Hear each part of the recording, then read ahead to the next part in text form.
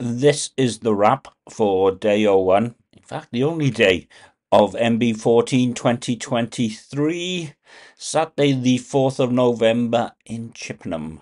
This is semi live from the Travelodge in Chippenham. Okay, TLDR, it was good. I'm coming back. I just need more lever money. But there you go.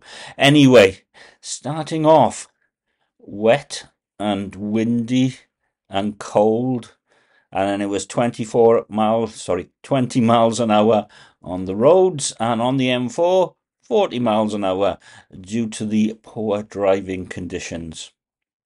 It wasn't a nice journey I have to be honest although when out to Wales there was less rain which was good and it was starting to get light as the journey went on and by the time I arrived it was light but wet.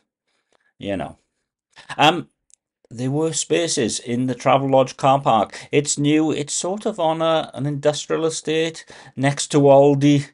Um, but it's not far out of the centre, about five minutes walk. Um, there's a Tesco's Express, so loaded up on food there. And round the corner from the Tesco's Express, there's the railway bridge, um, which puts you in the middle of the railway station and then just down from the railway station there's the Prince of Wales.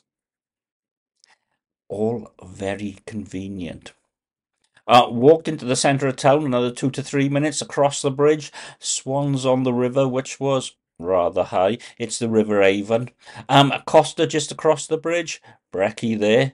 And then back over uh, along the river bank to the bridge house. Lots of bridges in Chippenham. Um, new, clean. Uh, only one set of um, hand pulls there. Um, nice beer condition, although the disappointing thing, slow Wi-Fi. ADSL 2 Plus, uh, if that, to be perfectly honest. Um, stayed there until lunchtime, over to the Prince of Wales, which was open on the dot.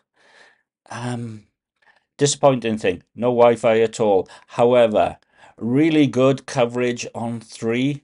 Um, and in fact, no real problems.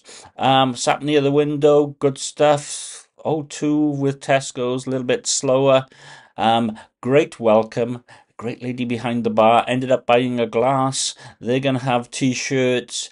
Um, they um, no cask there. Uh, it was all keg or cans. And they had nice nuts